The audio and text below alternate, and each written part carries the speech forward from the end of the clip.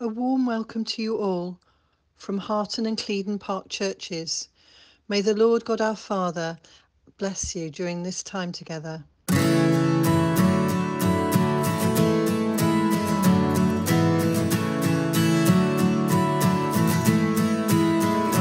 O God, our help in ages past, our hope for years to come our shelter from the stormy blast and our eternal home.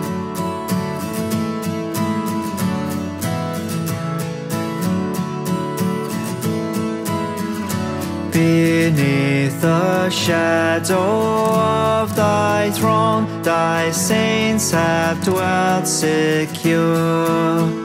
Sufficient is thine arm alone, and our defense is sure.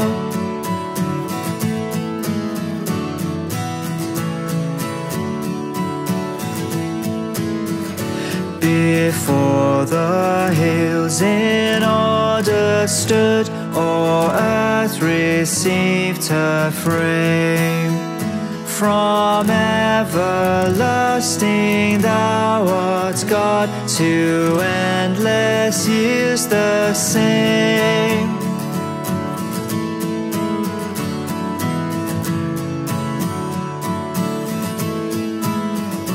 A thousand ages in thy sight are like an evening gone short as the watch that ends the night before the rising sun.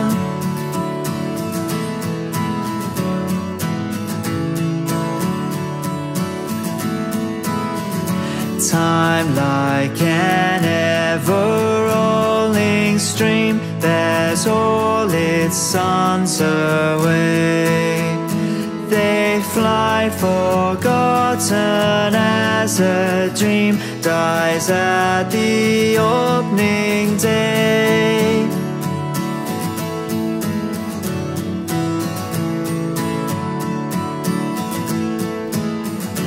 Oh, o God, our help in ages past, our hope for years to come. Be thou troubles lost and our eternal home.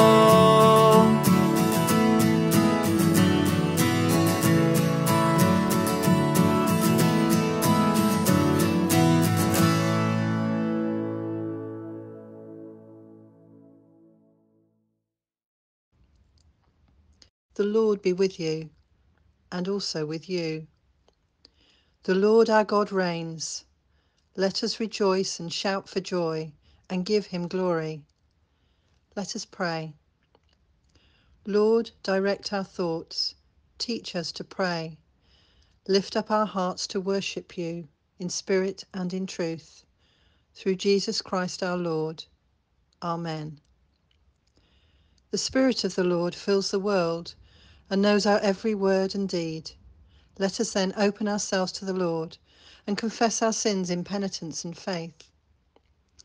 We have wilfully misused your gifts of creation. Lord, be merciful. We have seen the ill treatment of others and have not gone to their aid. Lord, be merciful. We have heard the good news of Christ and have failed to share it with others. Lord, be merciful. We have not loved you with all our heart, nor our neighbours as ourselves. Lord, be merciful. May the Father of all mercies cleanse us from our sins and restore us in his image to the praise and glory of his name. Through Jesus Christ our Lord. Amen. The Lord is with us, he is our stronghold. God will help at the break of day. God is our refuge and strength ready to help whenever we are in trouble. We will not fear even if the earth shakes and the mountains topple into the sea. Come now and look, all the works of the Lord, the awesome things he has done on earth. Be still and know that I am God.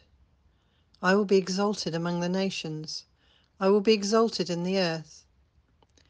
The Lord is with us. He is our stronghold. God will help us at the break of day. Let's pray. God of glory, touch our lips with the fire of your Spirit, that we with all creation may rejoice to sing your praise. Through Jesus Christ our Lord. Amen. A reading from the book of the prophet Micah.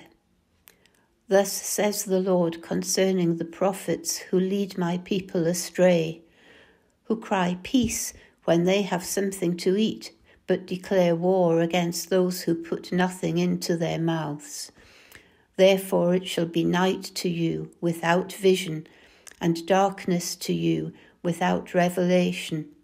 The sun shall go down upon the prophets, and the day shall be black over them the seers shall be disgraced, and the diviners put to shame.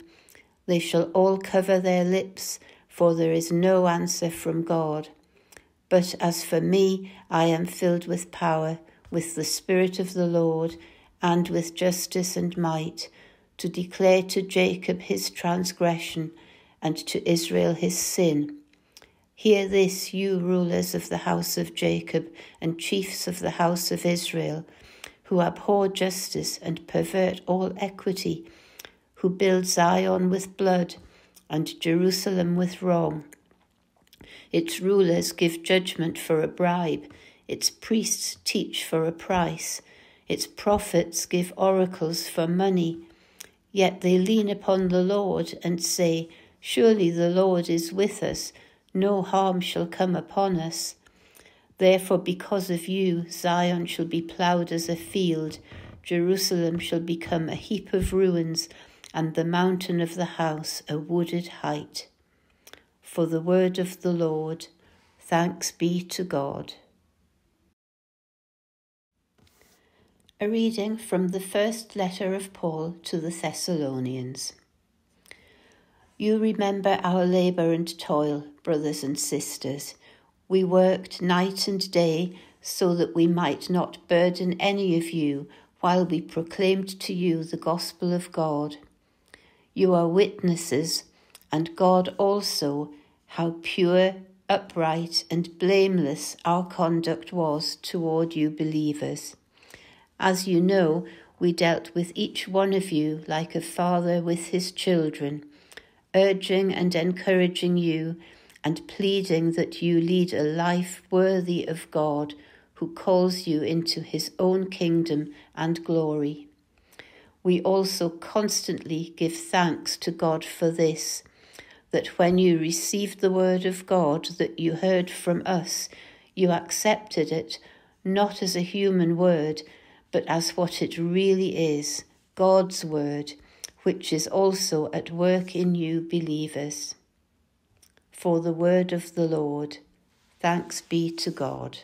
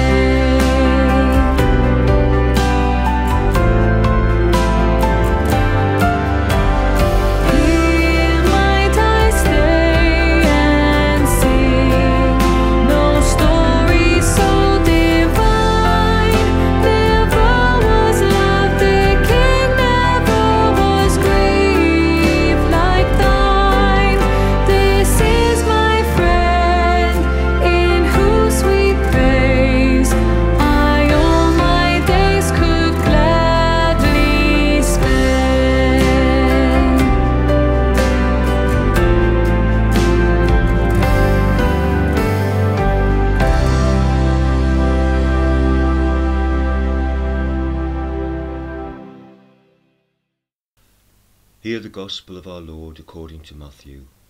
Glory, Glory to you, O Lord. Lord. As Jesus came out of the temple and was going away, his disciples came to point out to him the buildings of the temple. Then he asked them, You see all these, do you not? Truly I tell you, not one stone will be left here upon another, all will be thrown down. When he was sitting on the Mount of Olives, the disciples came to him privately, saying, Tell us, when will this be? And what will be the sign of your coming and of the end of the age? Jesus answered them, Beware that no one leads you astray, for many will come in my name, saying, I am the Messiah, and they will lead many astray. And you will hear of wars and rumours of wars. See that you are not alarmed, for this must take place. But the end is not yet. For nation will rise against nation, and kingdom against kingdom, and there will be famines and earthquakes in various places. All this is but for the beginning of birth pangs. Then they will hand you over to be tortured, and you will be put to death, and you will be hated by all nations because of my name. Then many will fall away, and they will betray one another and hate one another. And many false prophets will arise and lead many astray. And because of the increase of lawlessness, the love of many will grow cold. But anyone who endures to the end will be saved. And this good news of the kingdom will be proclaimed through the, throughout the world as a testimony to all nations. And then the end will come. This is the gospel of the Lord. Praise to you, O Christ. On the face of it, today's gospel has a brutalistic message. For nation will rise against nation, and kingdom against kingdom, and there will be famines and earthquakes in various places. Never in my lifetime have these words been so poignant and so concerning. I guess being four and a half months old at the time of the Cuban Missile Crisis was probably equally as worrying but that's a minor technicality as I slept and drank milk most of my way through that one. Jesus predicts, not one stone shall be left here upon another. Some forty years after Jesus said this, there was a widespread Jewish revolution against the Romans in Palestine, and whilst there were a few early successes, ultimately Roman soldiers under the leadership of future Emperor Titus crushed the rebels in AD 70 Jerusalem was levelled, including the temple, just as Jesus had predicted. And there would be famines and earthquakes in various places. Nine years after the destruction of Jerusalem at the hands of the Romans, the Romans themselves suffered a major natural disaster when Vesuvius destroyed Pompeii and Herculaneum. By this time, Titus, who had led the siege and the razing of Jerusalem, had been emperor for around four or five months. Coincidence? Karma? I'll leave that one for the scholars and the historians.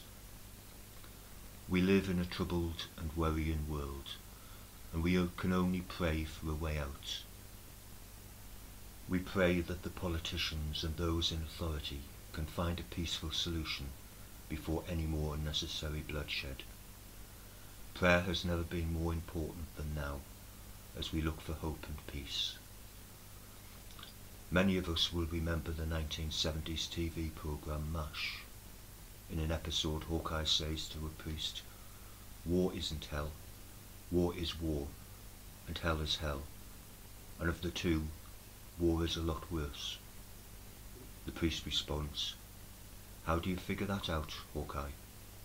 Easy came the reply. Who goes to hell? Why, sinners, I believe, says the priest. Exactly, says Hawkeye. There are no innocent bystanders in hell. War is chock full of them. Little kids, cripples, old ladies. In fact, except for some of the brass, almost everyone involved is an innocent bystander. Thanks to social media, we are subjected to disinformation and need to discern God's truth. Both the passage from Micah and in today's Gospel warn of false prophets. In a world where we hear of so much negativity and are subjected to disinformation from social media, and there are times when the news can also be portrayed as a little one-sided, we need to be wary of messages giving false promises and half-truths. God does provide, and God does bless, but we also need to analyse the sources in which we hear these messages. In the Gospel assigned for last Sunday, had we not used the All Saints' Day liturgy, we would have heard that the greatest two commandments, love the Lord your God with all your heart and with all your soul and with all your mind, and the second is that you should love your neighbour as yourself. If only everyone on this planet unconditionally could love their neighbour as themselves, then we'd be halfway to achieving world peace. But sadly, life is never as simple as that, and our hearts go to the people of Israel, Palestine, the Ukraine, and everywhere else that there is conflict in this troubled world, the innocent bystanders. Some of you may have listened to the radio programme Desert Island Discs at some point since it was first broadcast in January 1942. During the programme, the castaways asked to choose eight audio recordings, usually but not always music, a book and a luxury item that they would take if they were to be cast away on a desert island, whilst discussing their life and the reasons for their choices. They are also given a copy of the Bible and the complete works of Shakespeare. Earlier this year I was challenged that if I was to be cast away on the desert island, I wasn't going to be given a full Bible, nor would I be given a book of the Bible. I could only have one chapter, and what would it be? It was tempting to go for John 1, my favourite Christmas reading, but I selected 1 Corinthians 13 because I believe that we have a loving God and if we focused on love rather than hate, then our communities would be a much better place. And if our communities were a better place, then the wider world would have the opportunity to follow suit. 1 Corinthians 13 is the gift of love. It is so easy to get angry, and we have and we have enough justification to be angry in the current climate. But God so loved the world that he gave his only begotten Son, not to condemn the world, but to save us from our sins. Love is precious, and it is the cornerstone of our hope that a peaceful solution to all the world's conflicts can be found. In the Gospel, Jesus gives us hope, and because of the increase of lawlessness, the love of many will grow cold, but anyone who endures to the end will be saved. Jesus is sending the message of hope. It's a marathon, not a sprint. How often have we heard that phrase? And I for one should know. But love is patient, it is kind, and it never ends. In my old male voice choir days, a regular piece from our repertoire was Let There Be Peace on Earth, which can also be found in some of the hymn books. It goes, Let there be peace on earth, and let it begin with me. Let there be peace on earth, the peace that was meant to be. With God as a father, brothers all are we. Let me walk with my brother in perfect harmony. Let peace begin with me. Let this be the moment now. With every step I take, let this be my solemn vow, to take each moment and live each moment in peace eternally. Let there be peace on earth, and let it begin with me. During our non-communion services we pray, to a troubled world, peace from Christ, to a searching world, love from Christ, to a waiting world, hope from Christ. Jesus gives us hope. Today's gospel may not seem that way, but let us love our neighbour and encourage our neighbours to love their neighbours unconditionally the snowballing effect would be so powerful. And let us trust in the power of prayer in our daily lives. Amen. God calls us to peace. In God's justice is our peace. Christ calls us to be God's people. In Christ is our peace. The peace of the Lord be always with you, and also with you. We believe in God the Father, from whom every family in heaven and on earth is named. We believe in God the Son, who lives in our hearts through faith and fills us with his love. We believe in God the Holy Spirit, who strengthens us with power from on high. We believe in one God, Father, Son, and Holy Spirit. Amen. Let us pray. Gracious God, this month we remember the anguish and carnage of war. We pray that you may soften the hearts of the people of war, that they may see beyond their hatreds and come to realize the suffering they are inflicting on the innocent bystanders around them. Strengthen the people of peace and bring hope and healing to all caught up in wars, remembering especially the peoples of Israel Palestine, and Ukraine. Lord, in your mercy, hear, hear our prayer.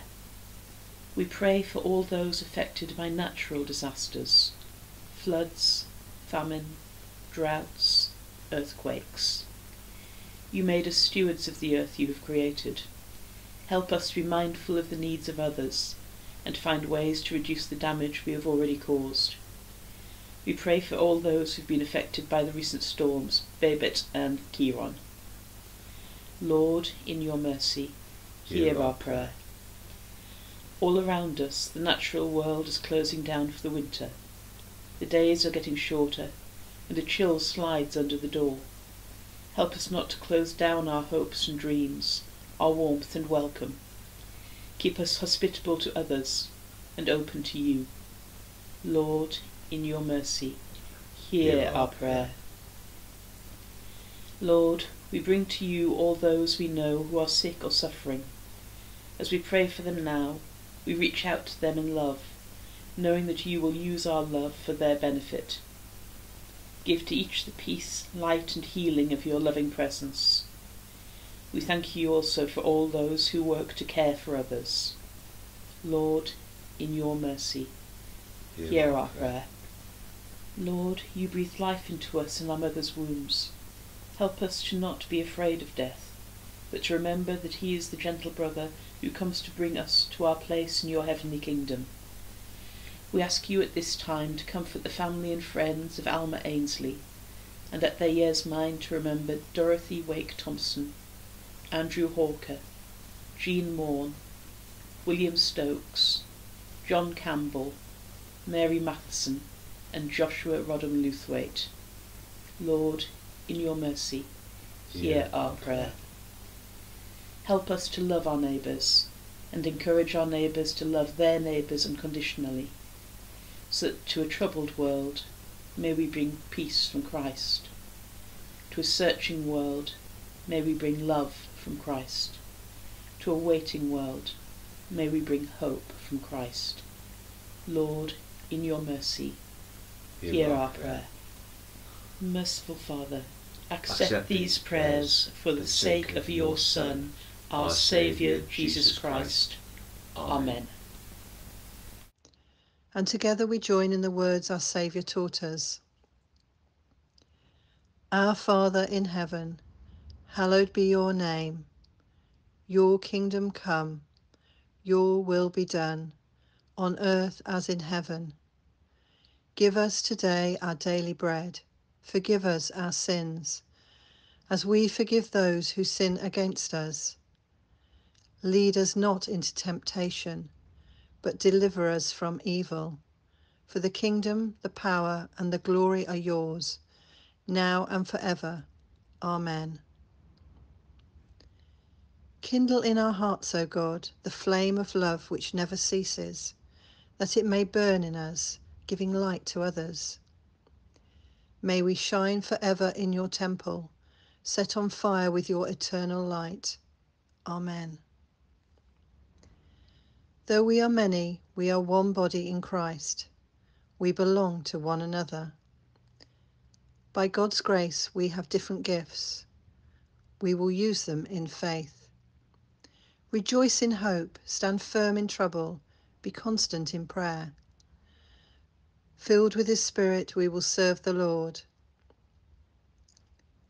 Eternal giver of love and life, your Son, Jesus Christ, has sent us into all the world to preach the gospel of his kingdom. Confirm us in this mission and help us to live the good news that we proclaim. Through Jesus Christ our Lord. Amen. And we end our time together with the grace of our Lord Jesus Christ and the love of God and the fellowship of the Holy Spirit be with us all evermore. Amen.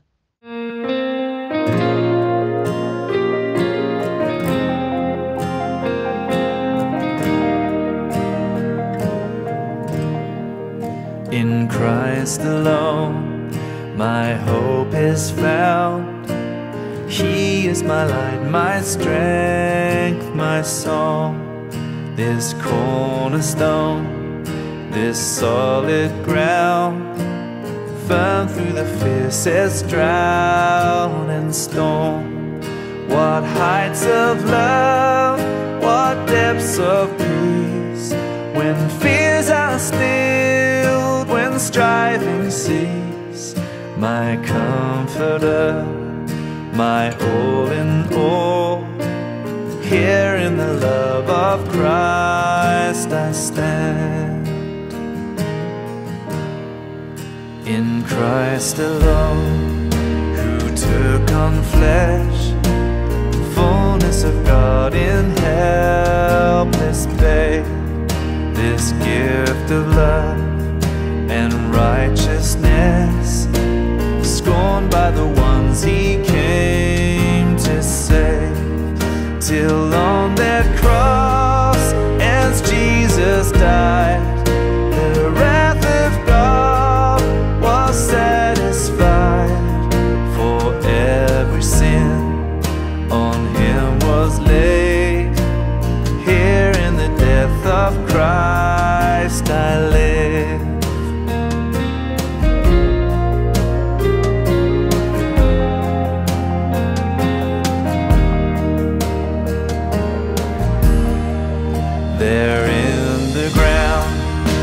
his body